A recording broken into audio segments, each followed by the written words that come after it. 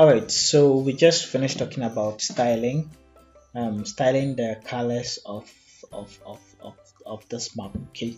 So, well, what, what I want to show you is um, labeling, because labeling is also a very important part of styling. And so I'm just going to move to the labeling labels um, tab, okay? Now, labels currently is at no labels, that's why you're not seeing any labels here. I just want to focus on single and rule based. By now, I'm sure you know what the difference is by now. So if I select on single based rule, rules and labels, what you get is is going to is basically going to label everybody, and it's going to label everybody in the same style. Okay, so let's label all of them by their name one. Okay, name one. If I hit enter, it basically gives everybody a name okay name one now there are other parts of um of there are other parts of what's the name of this labeling um, tab that I actually enjoy using. One of them is the buffer okay? So for the buffer I I like to add a background or let me call it a buffer color to it.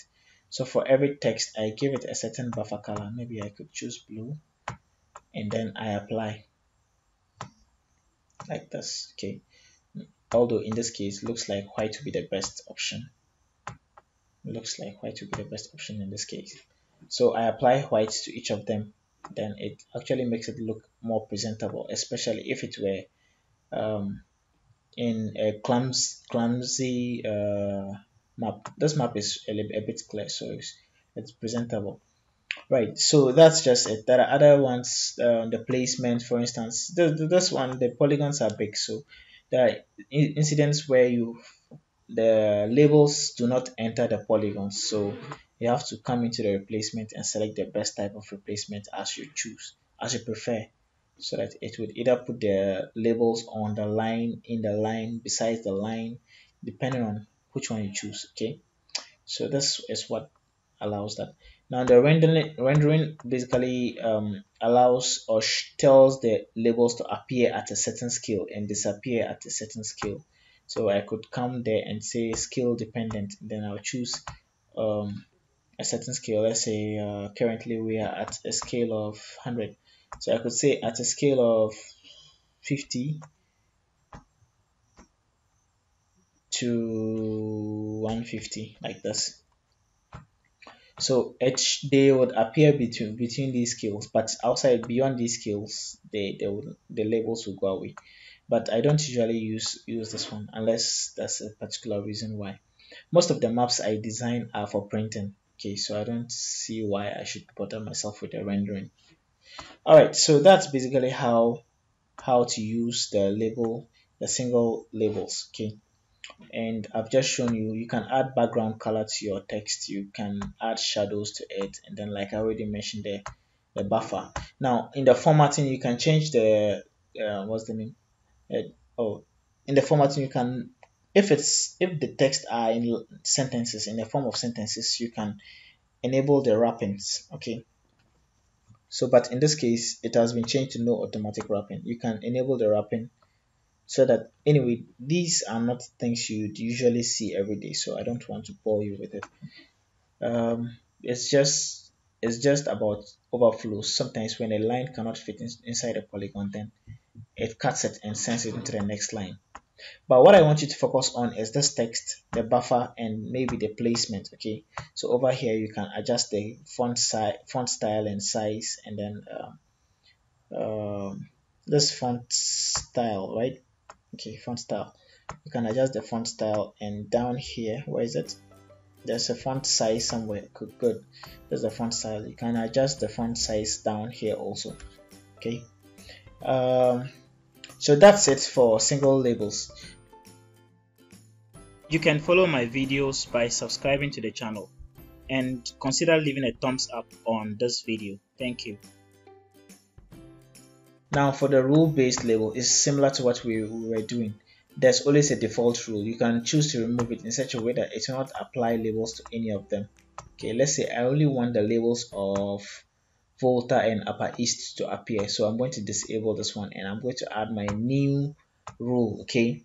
and I'm going to set my rule here by saying that fields and values look for fields and values whose name one equals to then I get all then I say upper east okay or then I say name one equals to upper you can type it if you prefer equals to volta like this right then I test my query to see if it works. Good it works. Then you can now come down here and give it a certain style of um, formatting. Okay so I'm going to keep the default maybe perhaps give it a buffer. I always like using the buffer. Give it a buffer color raise it up a bit make it a bit dark oh, like this. And then um, I'll just hit OK and then I'll apply like this where is it did it appear. No it didn't appear. I missed something. Okay label with I didn't enable this. So label with name one okay. So that's what you wanted to label them by. So it labels them by name one okay. So it's basically rule based just like we did for the styling rule based whatever you want to have.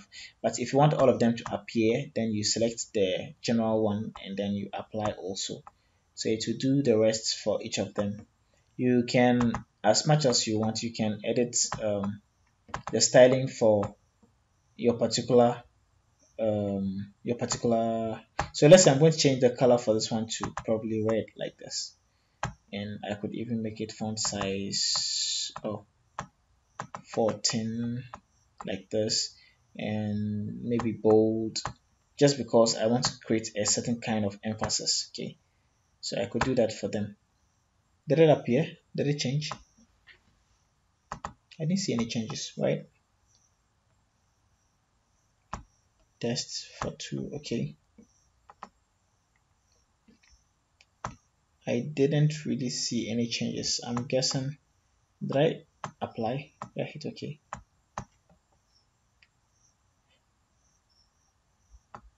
Okay, by now I enabled the rendering. That's probably why. So it, it has applied to them. I'm not sure why I'm getting. Ah, okay, okay, yeah. It has applied to them. What you're what you're not noticing is that the the general rule also has label. That's this upper east then I also came to give it uh, what's the name this new one so I could go here and then filter out maybe I could say accept a certain accept a certain um, value maybe accept upper east and volta region then they would they would be ignored okay? So it's pretty much all about writing SQL SQL code and it's not difficult it's just double click double click double click and you are good to go. So that's it for single based styling and um, rule based styling okay? So let's i'll see you in other videos